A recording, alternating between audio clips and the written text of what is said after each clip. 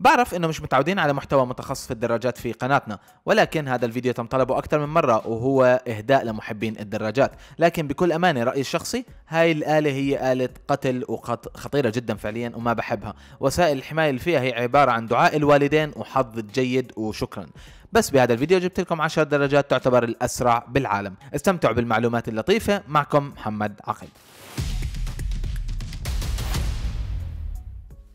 BMW K 1200 S صممت BMW هاي الدراجة لتكون خفيفة الوزن ورشيقة. هاي الدراجة فعليا تعتبر إشي كتير لطيف التعامل معها على السرعات العالية.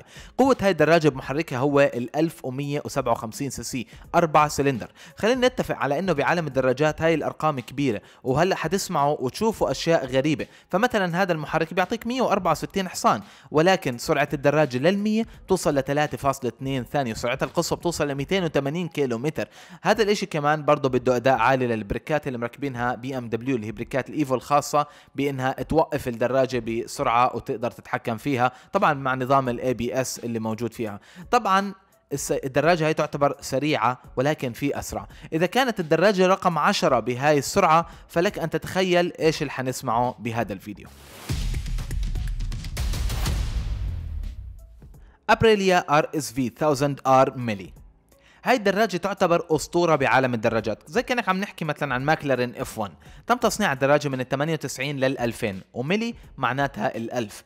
طبعا لا يغرك إنها قديمه بس على الطريق هاي عبارة عن صاروخ أرضي. بتعمل هاي الدراجه بمحرك 1000 سي سي مع حقن وقود إلكتروني. عم نحكي عن قوة بس 141 حصان و107 من عزم الدوران هالأرقام مع جير صح وخفة وزن بتوصل الدراجة لل100 خلال 3.1 ثانية. سرعتها القصوى بتوصل لل 281 كيلو متر للعلم هاي الدراجة كانت أسرع دراجة بالعالم في ال 98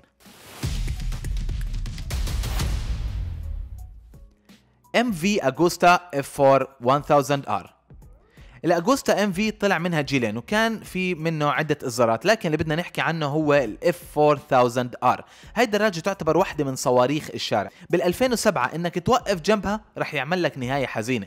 تمتلك هالدراجة محرك 1000 cc 4 سلندر بولد 174 حصان و115 من عزم الدوران.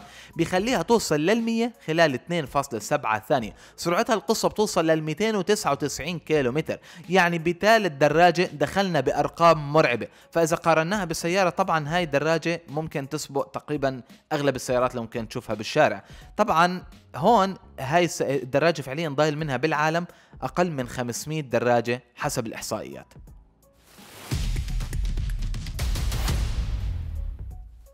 Kawasaki Ninja ZX 14 R. بدأ إنتاج هاي الدراجة من سنة 2006 بدي إياك تتفرج على شكلها. فعليا هيك بتحسها عم تاكل الأرض. ولكن فعليا أكيد ما بتاكل الأرض بس لأنه شكلها حلو. لا جايب لك القسم اللطيف اللي أنت حتحب تسمعه. محرك الدراجة 4 سلندر 1441 CC. هذا المحرك بيخلي الدراجة تطير حرفيا عن الأرض حتى حاطين عليها نظام بيساعد على انطلاق لأنه فعليا الدراجة تخيلوا بتنطلق من صفر ل 100 خلال 2.6 ثانية. القوة 207 حصان و158 نيوتن متر من عزم الدوران. سرعة السيارة أنا متعود على السيارات ما سامحوني. سرعة الدراجة القصوى 299 كيلومتر ومحددة الكترونيا يعني ممكن كمان تطلع عنها.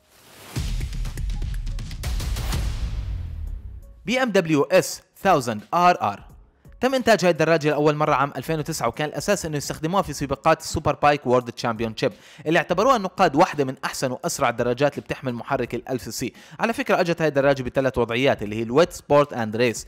برضه عليها ABS ومثبت سرعة وكثير من المواصفات اللي ممكن تعتبرها إنه دراجه للشارع مش بس للسباقات.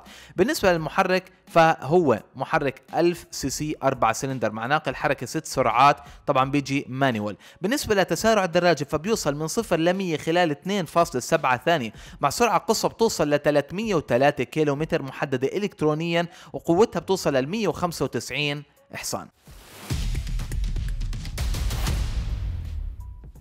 هوندا سي بي آر 1100 إكس إكس بلاك بيرد الدراجة هاي قديمة. هوندا بدأت تصنعها من 96 ل 2007 السبب تصميم هاي الدراجة ومنافستها لل Kawasaki Ninja ZX 11 طبعا لا رح تقول لي اطربني يا محمد بمواصفات هالدراجة طالما أنت حاطها على ال list ة يا سيدي طالما على الليستة معناته بدك تسمع أرقام جميلة.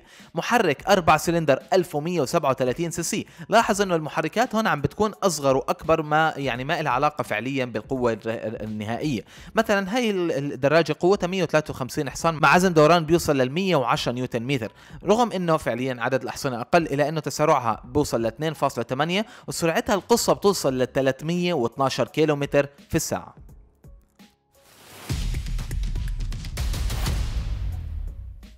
Suzuki Hayabusa GSX 1300 R.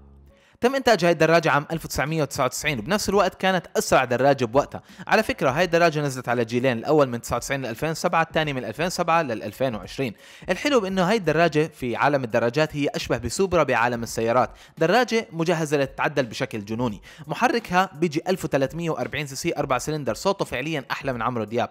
بوصل الدراجة لل 100 خلال 2.6 ثانية. مع عدد أحصنة بيوصل ل 197 حصان وعزم دوران بيوصل لل 133 نيوتن متر من من عزم الدوران. كل هذا الإشي بخلي الوحش يوصل للسرعة القصوى اللي هي 312 كيلومتر في الساعة.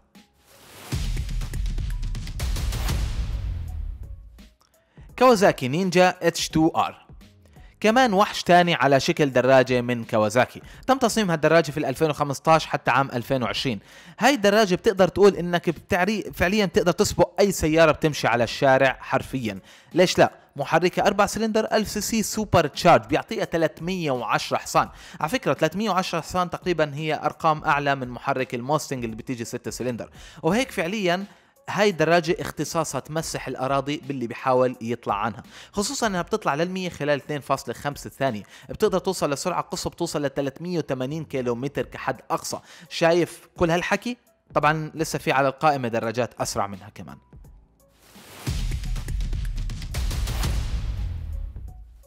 NTT تورباين سوبر بايك واي 2 كي هاي واحدة من أغرب دراجات العالم. تم إنتاج هاي الدراجة بين 2000 ل 2005 وحملت رقمين قياسيين مسجلين بكتاب جينيس الرقم الأول بأنها أغلى دراجة كانت في العالم بسعر 175 ألف دولار يعني إذا بتقارنها بهلأ يعني 260 ألف دولار.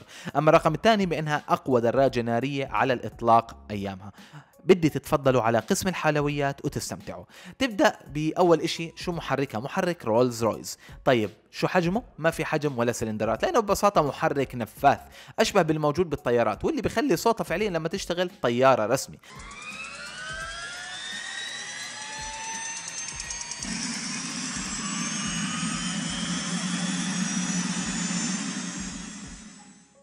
هذا الوحش بيوصل تسارع من صفر ل 100 خلال 2.4 ثانية مع سرعة قصة بتوصل ل 402 كيلومتر في الساعة.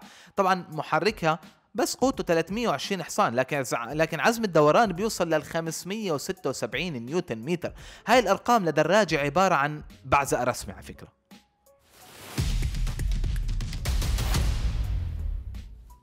Dodge Tomahawk.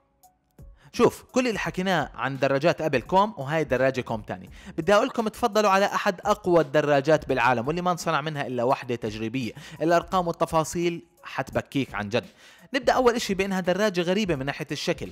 أربع عجلات عشان تتحمل وزن المحرك وتكون أكثر ثبات. أكثر ثبات لشو؟ للمحرك اللي حتسمعوا هلأ. أرقام غريبة جدا بالنسبة لدراجة شوف محرك الدراجة هو 8300 CC مأخوذ من Dodge Viper 10 سلندر بيعمل لك 500 حصان وتسارع للمية خلال ثانية ونص. عزم الدوران مرعب 712 نيوتن متر. كل هاي الأرقام بتخلي هالدراجة توصل لسرعة 500 كيلو متر في الساعة. هاي الدراجة طبعا غير قانونية ابدا تمشي على أي شارع. يعني أنتوا فاهمين شو يعني إنك توقع على سرعة 500 كيلو متر يعني أنت فعليا وجهك حيصير زي العلكة اللي بموقف الباصات حرفيا على الأرض. فهاي الدراجة مش حتشتروها ولا حتكون متوفرة.